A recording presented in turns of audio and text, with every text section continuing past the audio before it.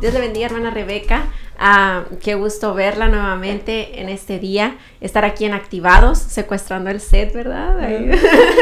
Ah, y vamos a estar ah, pues aquí conversando un poquito más sobre el ministerio. sé que hemos, usted mejor que nadie ha pasado por muchas experiencias y muchas cosas que nos puede compartir en, en general a las que estamos tratando de servir al Señor yo me considero joven y a todos los jóvenes que estemos tratando de servir, usted es la persona correcta que nos pueda dar un, buen consejo en ese aspecto. No sé si usted tenga una experiencia, algo que a usted la ha marcado y que pueda ser de bendición para alguien que quiera servir al Señor, que quizá está pasando por momentos difíciles, pero ¿cuál sería el mejor consejo o lo mejor que usted ha aprendido de esa situación? Hola, me da mucho gusto estar aquí en el programa Activados y es un placer pues estar aquí con usted. Eh, ya nos conocemos varios años, siempre nos miramos en los eventos que hay de la iglesia y, ahí nos comunicamos por las redes sociales. Es una bendición ah, poder platicar en este día, tener esta conversación y me siento muy bendecida. Eh, bueno, respondiendo a la pregunta del ministerio, el ministerio eh, ha sido una gran parte en mi vida. He estado eh, congregada en la iglesia desde que era niña. Mis padres son pastores. Eh, me he creado en un ambiente ministerial, ¿verdad? Y pues yo comencé a servir, podría decirlo, cuando estaba pequeña, pues siempre me gustaba ayudar a las hermanas en la escuela dominical. Era esa niña que siempre estaba metida ahí, ayudándole a repartir los, lápices o los papeles a las hermanas. Entonces siempre eh, estuve eh, involucrada en esa área, me apasioné mucho eh, por, los, uh, por la escuela dominical, la enseñanza. Y en lo personal fue algo que cuando fui creciendo tenía ese sueño, esa visión de un día poder ejercer una carrera como maestra. Y gracias a Dios que me ha dado la oportunidad ahora de ejercer esa carrera y ha sido una bendición. Y todo, toda la experiencia en la iglesia me ayudó mucho también a crecer. Eh, ya cuando cumplí los 12 años, empecé ya a ayudar como maestra de niños a los chiquitos, los de 3 años, 4, por ahí empieza uno. Y ya después fueron pasando los años y ya fui enseñando a los adolescentes. Eh, estuve al frente también de, como directora de escuela dominical por varios años y estar al frente trabajando con adultos, que no es fácil, pero el Ministerio de los Niños es algo que amo, es uno de los ministerios que más me ha apasionado, el de los jóvenes también, después eh, ejercí como líder de jóvenes por varios años, más de seis años, presidenta de jóvenes, eh, trabajé con varios ah, adultos también y varios jóvenes involucrados en el ministerio y creo que es, ese ministerio ha sido uno de los que más ha impactado mi vida. Eh, trabajar con los jóvenes eh, no ha sido nada fácil porque yo empecé pues cuando tenía 16 años. Oh, iba, estaba tenía 16 años, iba a cumplir 17, entonces ahí fue cuando yo empecé como líder de jóvenes eh, al frente del ministerio. Y yo miraba que eh, en la constitución pues está de 12 a 35 años. Y yo decía, ¿qué le voy a enseñar a los jóvenes de 35 años? Yo tengo 16 y era un reto grande porque es estar al frente de 30, 40 jóvenes en tu iglesia local. Y y, muchas veces me preguntaba yo, pues, ¿qué les voy a enseñar? ¿Qué les puedo decir? Eh, pero con la ayuda de mis padres que me guiaron y eh, personas que siempre están alrededor de nosotros ayudándonos, fui este, aprendiendo mucho y eh, es, eh, puedo decir que respondiendo a la pregunta, el Ministerio de los Jóvenes ha sido el ministerio más difícil que he ejercido y el, el más retante, porque como jóvenes todos, cada cabeza es un pensamiento. Entonces todos los jóvenes piensan de, muchas maneras y el estar al frente guiándolos en una vida cristiana, eh, cómo agradar a Dios, eh, cómo comportarse, cómo ser ejemplo ¿verdad? Como dice la palabra de Dios, ser ejemplo a los demás en palabra, en conducta, en amor, en fe, en pureza, en, muchas áreas no es nada fácil, pero pude conectar con los jóvenes de una manera tan especial, eh, pude ayudarlos en, muchas maneras. Eh, con las experiencias que yo estaba pasando a los adolescentes, podía conectar con ellos. Eh, miré muchos adolescentes ah, que querían ah, suicidarse, eh, tenían pensamientos de suicidio, eh, estaban pasando por bullying en la escuela, eh, jóvenes que se sentían se sentían vacíos. se sentían aislados, se sentían este, que no eran importantes y, y uno está pasa algo, que uno está en la iglesia, no sé si, si le ha pasado a usted o, que, o ha visto, y uno llega a la iglesia, está el servicio, está la gente, y, uno mira todo normal. o sea, usted mira a los jóvenes sonriendo, a los adolescentes riéndose y todo normal. Pero si usted se sienta a platicar con ellos, wow.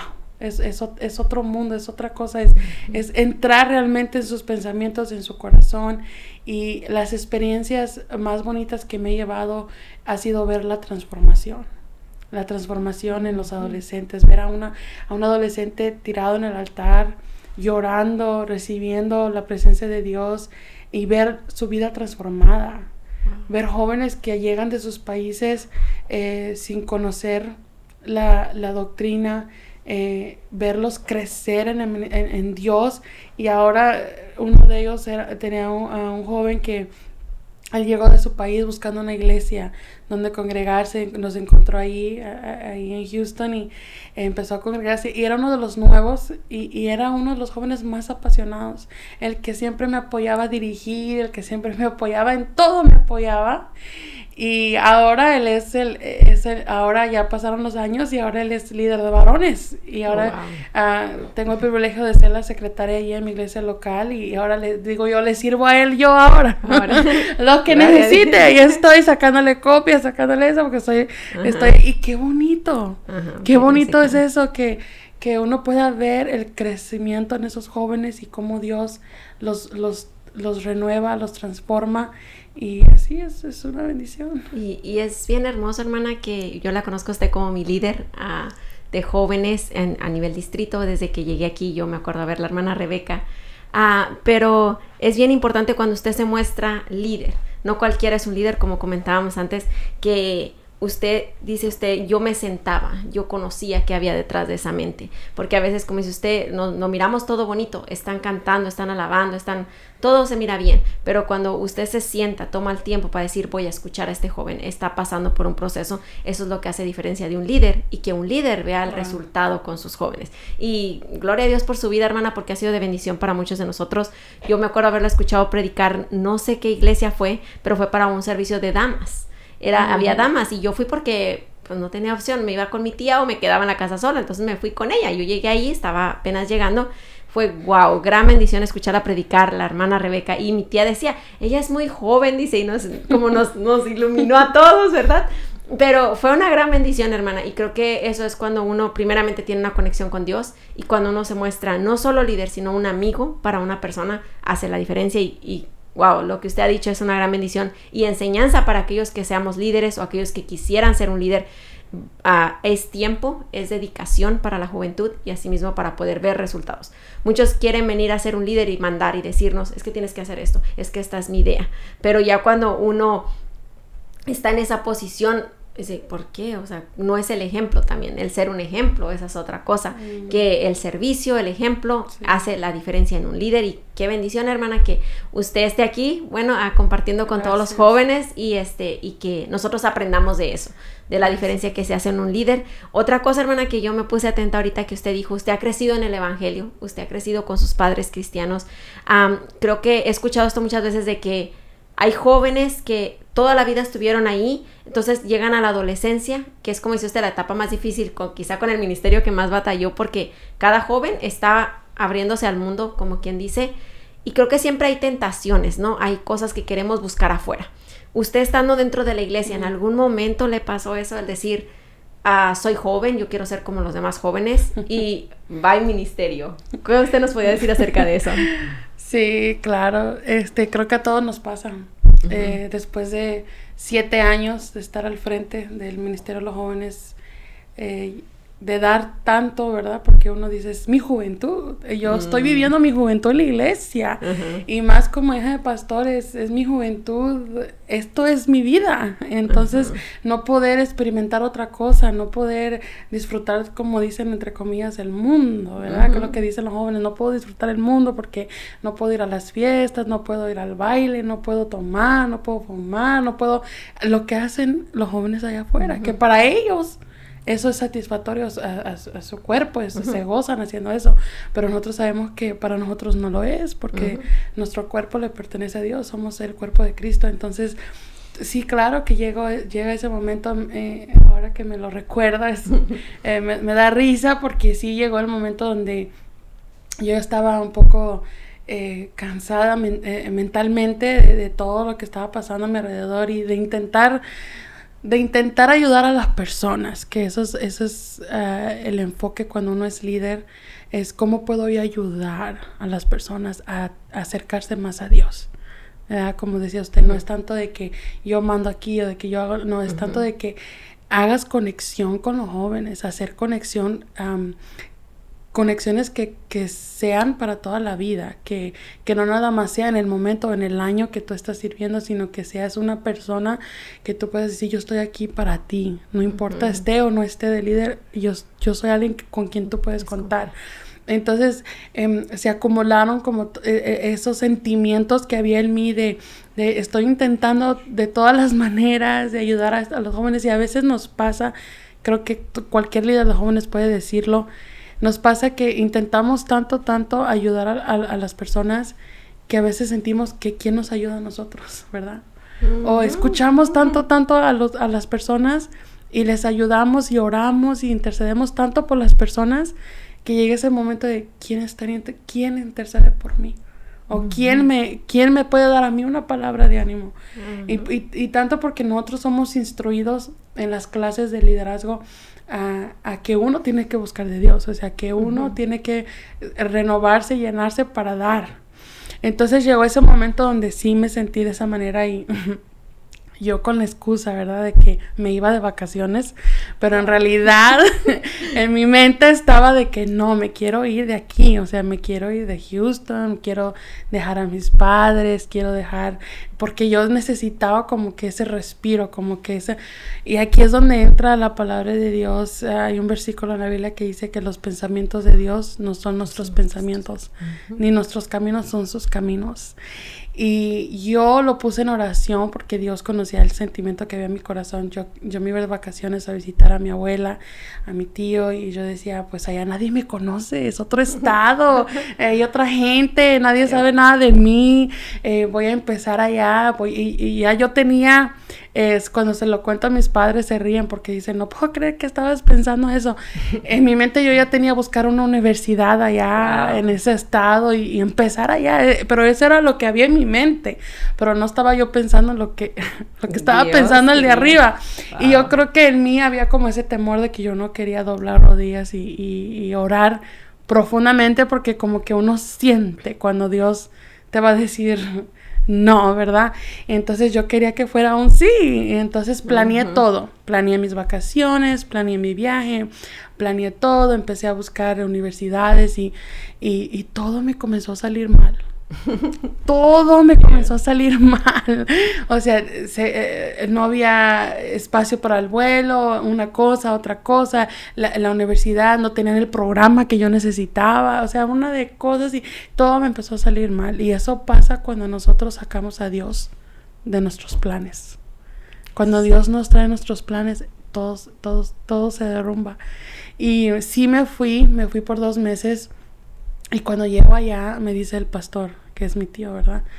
Me dice, ay, qué bueno que estás aquí, quiero que le prediques a los jóvenes, quiero que venga y le predique. Y yo decía, pero a eso no vengo, vengo a descansar, vengo a... O sea, pero obviamente él no sabía eso. Y ahí entendí algo, que cuando uno tiene un llamado de parte de Dios, eh, no hay nada ni nadie que se pueda oponer a la voluntad de Dios.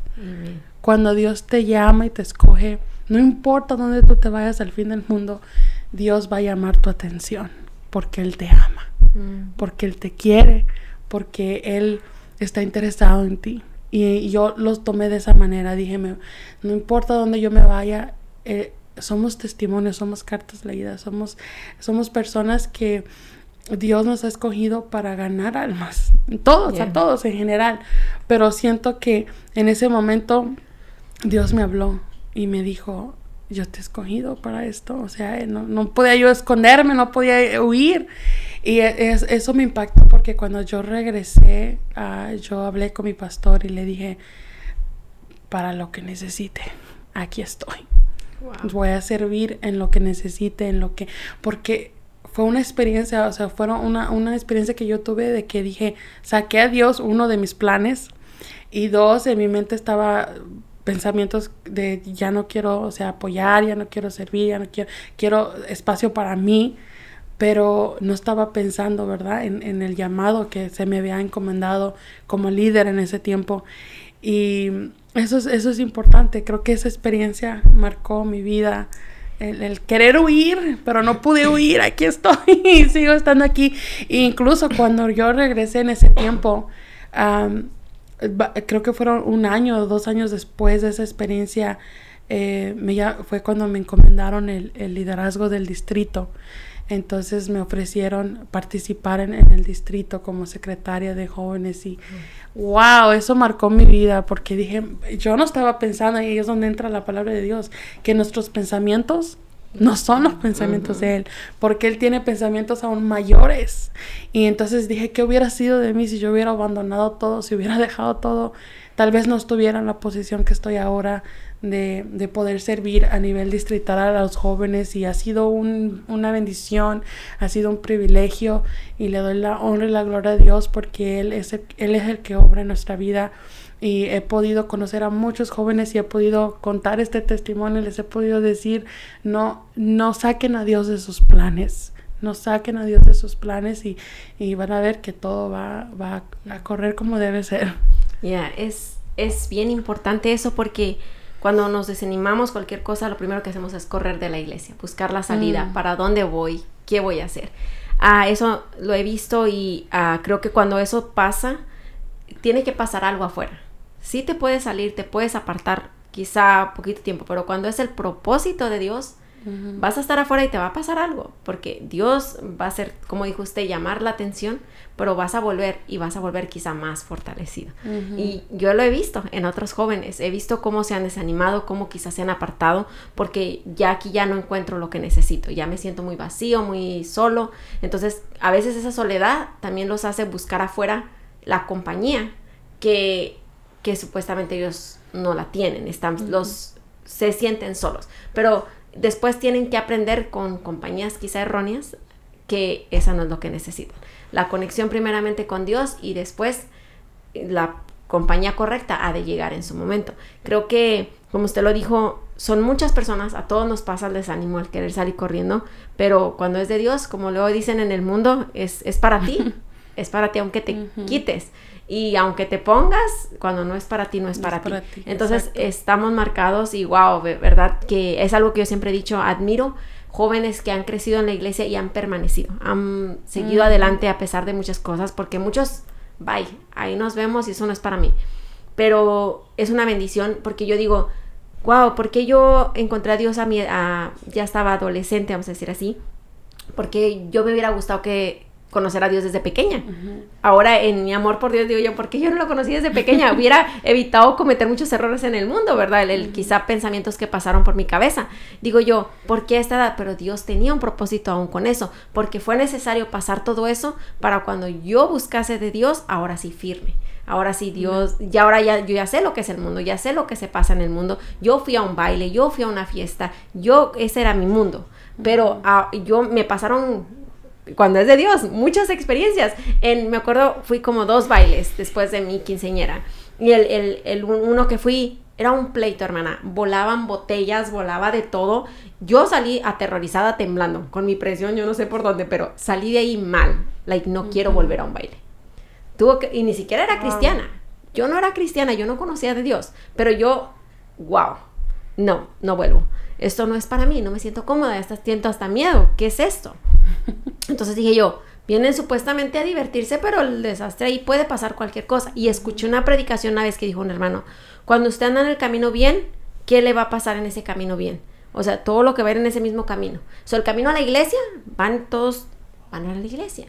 Pero el camino vamos a un baile, todos van, usted puede ir muy bien, pero alguien quizá va a ir en otra circunstancia, en físicamente, ¿sí me entiende? Entonces, aunque usted no era para usted, pero le tocó por en el camino que no era para usted. Correcto. Entonces, creo que yo he aprendido mucho de predicaciones, he escuchado predicaciones donde dicen, jóvenes, la mejor decisión, el mejor camino, y yo digo, yo ya lo pasé, soy yo ya viví eso, ya sé cómo es eso, creo que ahora es mi camino. Y por eso me, me sorprende cuando hay jóvenes que están toda su vida en la iglesia, creo que les ha de dar tentación el mundo, creo que han de querer probar el mundo, pero ahora ellos, este han soportado y eso ha sido wow que soporten esas pruebas Sí. de esa manera así como Y es, es, es una bendición porque cuando nosotros entendemos la voluntad de Dios, hay más entrega. No sé si, si me explico. Hay, hay una entrega mayor dentro de, de ti que dices, yo lo hago no porque me vean, no, no porque digan, no, no, no porque hablen de mí,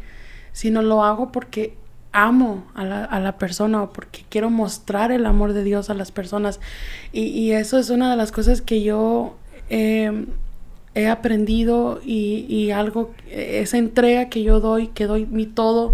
Y si alguien me llama eh, y me dice, un joven, eh, puede orar por mí, yo oro por él ahí en el teléfono, sea en la calle, o, si, o sea, es el sacrificio que uno tiene que hacer por amor. Porque es todo por amor. ¿Quién va a querer dedicar su, su tiempo, Tiempo. y su vida y toda su, su energía para otras personas? Cuando a veces las personas te quedan mal o a veces te apuñalan por la espalda o a veces pasan situaciones y, uno- y a veces hay gente que dice, ¿yo por qué tengo que estar soportando esto? Como, dijo, ya- como dijo usted anteriormente, me voy o, o lo dejo. A veces muchos no quieren aceptar ministerio en una iglesia porque se está Así. liderando, especialmente con los jóvenes. Oh, ellos no hacen caso, son estos, son lo otro.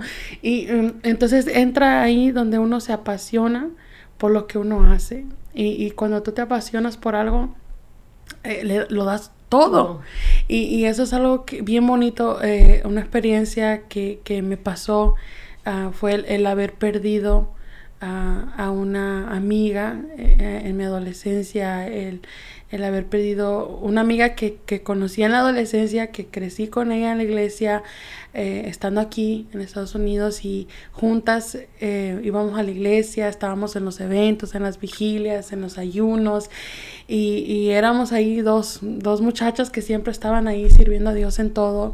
Y, y- y lo digo por lo que estaba mencionando usted de, de que vivir, eh, cuando experimentas eso en el mundo, las fiestas, los bailes, el todo, en el momento esas personas se sienten como que es- es- están gozando, que eso es, eso es vivir la juventud. Eso es todo. Y eh, fue muy triste mirar cómo esta joven se apartó de la iglesia, se apartó del camino de Dios. Y cuando yo recibí esa llamada por teléfono, cuando mi hermana me llama y me dice, tengo una noticia para ti, me dice, eh, tal persona murió, se, Wow. se suicidó, cometió suicidio. Y eso para mí, en ese momento cuando yo recibí esa llamada, wow, sentía de que no puedo creerlo, o sea, cómo está tan joven, estamos, o sea, tiene una vida por delante, eh, cómo que pasó esto y, y, eh, y ella me escribió un mensaje en, en Messenger un día antes de que ella cometiera suicidio.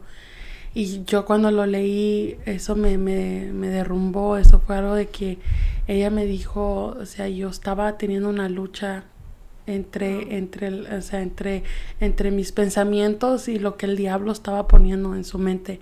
Y era un mensaje tan largo que yo lo leí que yo dije, wow, si yo hubiera, si yo hubiera sabido que estaba pasando esto por su mente, yo hubiera hecho algo más, ¿verdad? Hubiera ah, ayudado de otra manera y, y no pude, no pude hacerlo. Entonces eso impactó mi vida y en ese momento hubo una entrega mayor a este ministerio, a, a este ministerio de la juventud. Hubo una entrega mayor de decir, hay jóvenes que están muriendo sin Cristo. Hay jóvenes que están sufriendo en la vida, que, nes- que no tienen a alguien, que no tienen lo que nosotros tenemos. Y, y esa es la experiencia de vivir una vida eh, eh, con paz y con tranquilidad y con gozo. Y desde ese momento me propuse en mi corazón de, de ayudar, ayudar, simplemente ayudar a la juventud, ayudar a, a esos jóvenes necesitados y, y esos jóvenes que uno mira en la iglesia que están ahí en la orilla o en un rincón, que no hablan, que no... Uno se puede sorprender que esos son los jóvenes que Dios puede usar de una manera tremenda. Y, entonces nunca darnos por vencidos por los jóvenes. Never, to never give up on them. To believe on them, you know, to have faith that they can become somebody you know uh, they can become somebody better and they can do amazing things for God. Y creo que eso es eso esa experiencia marcó mi vida porque era alguien que yo amaba era una amiga mía de, de la adolescencia con quien crecí con quien compartí. Y estar allí enfrente de su ataúd verla ahí muerta y, y, ver cómo, eh, o sea, pasó eso y, no poder creerlo. Y, recuerdo que ahí estaban sus amistades y le tiraron cerveza y todo a la, a la tumba. Y entonces me recuerdo, ¿verdad?, lo que está diciendo, porque ese, ese es el, el mundo, eso es el, el afán de la vida, el afán del mundo, pero mira, ¿dónde terminas? Entonces es donde uno eh, le da con más ganas, ¿no? Y dice, no, yo tengo que echarle ganas a la vida, esforzarme en vivir esta vida para Dios. Eh, el mundo pasa y sus deseos, pero el que hace la voluntad de Dios permanece para siempre. Así que tenemos que echarle ganas y, y nunca dejarnos como dijo usted anteriormente, el desánimo, ¿verdad? Llega a la vida de todos, pero cuando tú estás eh, fuerte en el Señor, cuando tu relación con Dios es fuerte, Dios lo llena todo. Dios llena ese vacío, Dios quita esa tristeza. para mí eso, es, eso ha sido eh, el, el vivir mi vida cristiana en el camino de Dios a través de las experiencias de otros. Eso sí. ¿Verdad? Porque no, no he estado yo ahí en el mundo, no he tenido esas experiencias, pero lo veo a través de los ojos de otros como el testimonio, ¿verdad? Que, que estaba usted compartiendo y, como decía usted, lo, lo que usted vivió, llegar a, llegar a la iglesia eh, sin, sin saber nada. ¿verdad? Viniendo del mundo y, entrar a, ver otro mundo diferente. Entonces, para mí es lo contrario, ¿verdad? Porque es para mí este es mi mundo, el estar en la iglesia y no, no, no poder ver el mundo hacia afuera, pero lo veo a través de los ojos de alguien como usted, que puede testificar y que puede contar y, y, que puede, los demás podemos escuchar y decir, wow, Dios ha hecho una obra maravillosa. Ya, es, es importante porque no todos aprendemos de las experiencias de otros muchas personas son tan necias, vamos a decirlo así, que quieren ir a hacerlo ellos solos. Aunque usted le diga mil consejos, aunque lo escuchen mil veces, aunque vean morir quizás hasta su mejor amigo en tal situación, y yo lo he visto, murió por un accidente, porque iba, iba en alcoholizado. Y en el momento lloran, en el momento dicen ya voy a cambiar, ya no lo voy a hacer. Mm. Pero otra vez pasa el tiempo, se les pasó y vuelven a lo mismo. No aprendieron de la experiencia a un primo mío pasó un accidente, casi queda inválido. Y vengo, platico con él, lo fuimos a visitar después de que llegó al hospital. No, ya no vuelvo a como andaba, ya no vuelvo, ya no lo hago. Ah, pero pudo volver a caminar y se le volvió a olvidar el problema. ¿Qué es lo que pasa? Que no estamos aprendiendo de lo que estamos experimentando. Lamentablemente muchas personas puede pasar hasta la muerte y ni aún así aprenden. Quieren pasar por ahí a fuerzas. Yo he dicho a muchas personas, es que mira, te va a pasar esto, es que no lo hagas, es que ya sabes que si haces eso, vas directita para afuera. El mundo te está esperando con las manos abiertas para que te salgas de la iglesia. Y tú le estás dando camino cuando ya, hey, no, es que no lo hagas, es que mira, esto es mejor para ti, es que vas a caer, que cuidado. Yo a veces digo, la oración es más, fuerte que nada. Yo a veces, yo ya di un consejo, no lo escuchó, Señor, ayúdala. Y si le tiene que pasar por ahí, pues que pase por ahí, pero que experimente, que aprenda. Porque tiene que pasar quizá algo para que vuelvan más fortalecidos a buscar de Dios, porque ahora sí ya aprendieron. Lamentablemente muchos tienen que pasarle dos, tres, cuatro veces. Y yo creo que es algo que escuchamos uh, muchas veces que nos dicen nuestros papás, ¿no? No esperes a que, que, te pase algo para acercarte a Dios, no esperes que te pase algo. Pero como dices, ahí van los jóvenes y no, es que quiero y, y, eso ha sido un factor muy importante en, la constancia en Dios. De, decir, no quiero que me pase eso, no voy a esperar a que me pase eso, sino, Señor, ayúdame a poder vencer para no tener que pasar por eso. Yo escuchaba un testimonio de una hermana que decía, ah, en, incluso en Instagram, porque yo ahí escucho, eh, trato de que todo lo que mire sea de bendición y edificación esta hermana decía que ella, toda su juventud, todo sirvió a Dios, fue bendecida, feliz, se casó feliz Y dice, pero mi prueba, mi proceso, mi testimonio lo cuento cuando yo tuve un hijo, que dice que su hijo murió en sus manos. Imagínese el dolor de una madre que tanto anhelaba tener un hijo, que no podía tener un hijo y cuando lo tiene, muere en sus manos. Entonces dice ella que ella se aferró, decía, Señor, esta es mi promesa, esta es mi promesa. ¿Cómo, cómo, me lo, ¿Cómo se va a ir cuando apenas lo recibí? dice que se quedó dormida orando con el niño en los brazos sin soltarlo. Y que ella, entre el, clamor, un, un, suspiro, la despertó. El niño volvió a la vida, cuando ya el niño estaba casi morado. Ese testimonio impactó mi vida porque yo dije, Señor, yo no he pasado por nada. Yo siento que desde que conocí al Señor ha sido bendición en todo aspecto. Yo me siento contenta, bendecida, alegre con la vida que he tenido. Y digo yo, Señor, algo viene para mí. Algo tiene que venir para mí para que eso sea mi testimonio más fuerte aún y quizá algo va a pasar. Son pruebas que vamos a pasar como cristianos. Pero yo digo, Señor, prepárame. Lo que tenga que pasar, prepárame. Porque aunque venga, va a venir tentación. No, pues si cuando uno está más metida en las cosas de Dios, más tentaciones vienen al camino de, uno.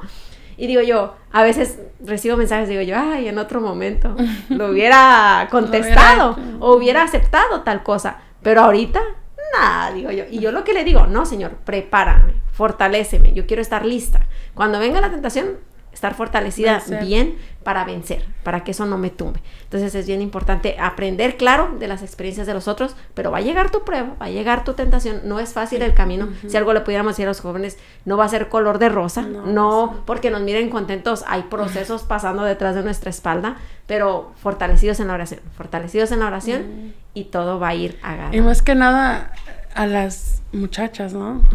somos, estamos hablando, podemos hablar de un punto de vista de, muchacha, muchacha, ¿verdad? Eh, ¿Cómo ha sido, cómo ha sido para usted eh, el tener que esperar en Dios? El tener que esperar en la voluntad de Dios y decir, sí se puede. O sea, ¿qué, eh, ¿qué ha sido como ese momento, qué experiencia ha tenido con Dios que la ha hecho decir, sé que, todo va a llegar a su tiempo, estoy esperando en la voluntad de Dios y, no, no, no, caer, como dice, en la, tentación. Creo que tuvo que haber un proceso, hermana, porque cuando yo llegué aquí, pues obviamente empezaba a ir a la iglesia. Yo no sabía, no tenía el mismo compromiso que ahora tengo. Las tentaciones estaban ahí. Salí con una persona que tuvo que llegar a un nivel donde decir yo, wow, ¿qué estoy haciendo aquí? ¿No? Entonces, en ese nivel ya fue cuando yo dije yo, no, bye. Pero en ese proceso, estando hablando con esta persona, yo me sentía vacía, yo me sentía seca, yo sentía que estaba fallándole a Dios. Era llegar a la iglesia porque yo, gracias a Dios, le digo, Señor, gracias porque nunca me aparté de la iglesia, pero fue como que a orar y decir, Señor, me siento mal, te estoy fallando, reconozco que te estoy fallando, pero ¿por qué no me puedo dejar de parar de hablar con tal persona cuando sé que te estoy fallando? Entonces yo decía, Señor, ayúdame, fortaléceme. Y, y era un llorar, hermana, un llorar, llegar a la casa y llorar, Señor, yo sé que te estoy fallando, pero mi deseo era hacer otra cosa que yo sé que no estaba dentro de los planes de Dios. Eso fue creo que, que el mayor de mis, de mis pruebas, vamos a decirlo así, que hasta escribió una canción, dice, perdiendo la paciencia fui tras la nostalgia. El decir, yo no voy, todas tienen novio, yo no voy a tener un novio, yo no voy a salir con nadie, yo no voy a hablar con nadie.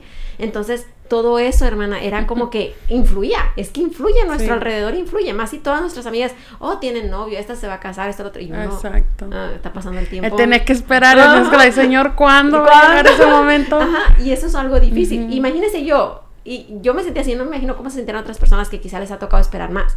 Entonces, en esto que escribí, que de hecho mi, amiga la cantó como una canción, yo digo, perdiendo la paciencia fui tras la nostalgia, buscando el cariño en cualquier lugar. ¿Qué es lo que pasa? Perdemos la paciencia dentro de la mm. casa de Dios. El mirar a todo mundo influye, sí. Perdemos la paciencia y ¿qué es lo que hacen muchas jóvenes? Me siento sola, me siento vacía, empiezo a hablar aquí, al que me hable, hasta aunque sea el que sea, pero que me hable. el que caiga esto. El que caiga, el que sea, yo voy.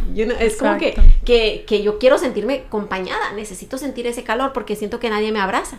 Y, eso es algo importante que, quiero agregar porque con lo que, lo que dijo ahorita, uno se siente en un momento como que llega el pensamiento de que quisiera hablar con alguien o quisiera compartir mis alegrías o mis tristezas y no hay nadie pero en realidad, pues para nosotras eh, que estamos esperando en la voluntad de Dios, pues sabemos que está Dios, ¿no? y Él es el que nos, nos fortalece y, que nos ayuda. Ajá. So, eso fue algo que a mí marcó desde ahí, mm. de decir, wow, Mari, no le tenía la cabeza, pero cuando reaccioné fue cuando dije yo, no, no, esto no es lo que yo quiero para mi vida. Y yo, mi mente siempre estaba en mis hermanas. Él, ellas se casaron chicas, todo lo que han sufrido. Yo no quiero eso para mi vida. Yo quiero que sea estudiar algo. Yo quiero hacer algo con mi vida. Entonces, yo tengo una juventud que disfrutar. Yo disfruto mi juventud. Me dicen, es que tú, que cristiana, que te vas a divertir. Ah, yo me divierto, yo me gozo. Y, entonces, es como que ahora mi juventud, yo puedo decir, me he gozado en, en Dios primeramente, en servir a Dios, en andar aquí para allá. Eso es gozo para mí, pero eso lo he aprendido en estando bien con Dios, Dios hace que todas las cosas sean de bendición y que lo que influye afuera no va a ser de cambiar tu punto de vista, tu manera de vivir. Y qué bonito que, que dice eso porque o sea, usted es una joven que yo también admiro mucho, siempre la, la miro ahí constante firme. Eh, han pasado ya muchos años y, y, siempre la he visto en las redes sociales, la he visto en los campamentos, la he visto en, en todo, donde yo la he visto siempre usted ahí activa, firme, sirviendo, una joven de buen testimonio. Y, y, eso es bonito, lo que, lo que está compartiendo, esa experiencia que ha tenido del esperar, porque esperar no es fácil, pero sabemos que va a llegar a su tiempo y creo que confiar en Dios Ah, cuando no sabes el resultado es lo más difícil. Pero eso es la confianza, es el, confiar en alguien como es, eh, por ejemplo, muchas personas me dicen, o jóvenes, muchachas, pero a Dios no lo ves, a Dios no lo escuchas, no lo ves, no lo puedes ver. ¿Cómo es que te, que te dejas guiar? Bueno, porque lo podemos sentir en nuestro corazón y, y, a través de la palabra de Dios, a través de la escritura, sabemos que cuando nosotros leemos la Biblia, Dios nos está hablando. Entonces yo sé que va a llegar ese momento para usted como para mí. Y uno aprende a esperar, hermana, porque a veces algo que podemos decir para la juventud, cuando sientes dudas, mm. cuando las cosas no están bien, cuando se supone que esa relación es para hacerte feliz, pero te sientes, o sea, yo estaba hablando con alguien, pero me sentía sola, me sentía que estaba fallando al que debería de fallarle, ¿verdad? Estaba fallándole. Entonces, a pesar de todas esas señales, estaban ahí para hacerme ver, hey, no es por ahí. O So, regrésate por donde estabas. Y creo que muchas jóvenes en este momento han de estar pasando por eso. Están en una relación que les hace daño, que les hace dudar. Una persona que no les está ni siquiera respetando la muchacha que son. Muchas muchachas son, wow, muchachas de gran bendición, de que fueron útiles en la presencia de Dios, en las manos de Dios, que pudieran tener un gran futuro. Y decimos, ¿por qué le pasó esto? ¿Por qué esto? Fueron débiles, sí. Pero algo que pueden analizar esas personas es, esta relación me está siendo de bendición para mi vida. ¿Por qué tengo dudas? ¿Por qué me siento infeliz a pesar de que estoy donde quiero estar porque soy feliz? Entonces, hay todas esas señales podemos ver la mano de Dios y muchas siéntanse contentas si están pasando por eso. Sentir duda en el corazón es lo mejor, es Dios redarguyendo tu corazón, diciéndote, hey, no, no. Y cuando uno siente culpa, siente el, el, que te redarguye el corazón, sientes tu conciencia. No, si ya sabes que no es por ahí, porque sí es por ahí. Entonces, son varios factores que vienen a lo mismo, el Espíritu Santo de Dios hablando en nuestras vidas. Y, y, eso pasa a una joven, obviamente, que ya ha conocido de Dios. Cuando ya has conocido de Dios, muy difícil vas a estar tranquila ya en el mundo, porque ya sabes a quién conociste, a quién temes. Pero una joven que quizá no tiene a Dios en su corazón, está en una relación que incluso le hace la duda. Y yo hablaba con una joven, porque ella me decía, es que fíjate que ya no sé por qué, pero ya no estoy a gusto. Le dije yo, pero es que yo sin él no soy nada, o sea, me siento confiada, es con quien hablo, es quien me ayuda. Le dije yo, ¿y qué va a pasar si el día de mañana esta persona ya no está? ¿Qué va a hacer tal persona? Vamos a ponerle María. ¿Qué va a hacer María cuando el novio no esté del cual depende? ¿Está bien feliz consigo misma? ¿Está su vida plena? dependiente de sí misma, pero estás dependiendo tanto de otra persona que ahí misma te vas a dar cuenta, esta relación es para mí. Entonces, esas jóvenes, yo he hablado con varias jovencitas, obviamente adolescentes, es decir, tienes tu vida puesta en un joven que el día de mañana te puede fallar. Tú estás preparada para eso, se te va a acabar el mundo.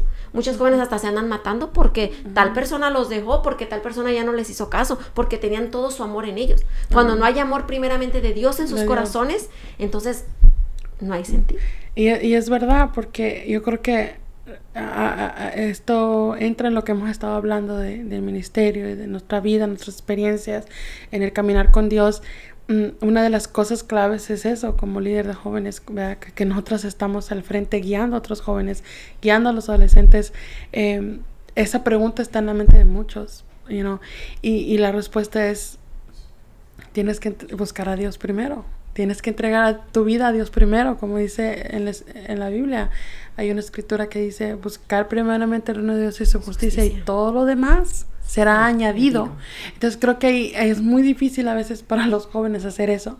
Ah, porque tengo que buscar a Dios primero, porque tengo que escuchar la voluntad de Dios primero.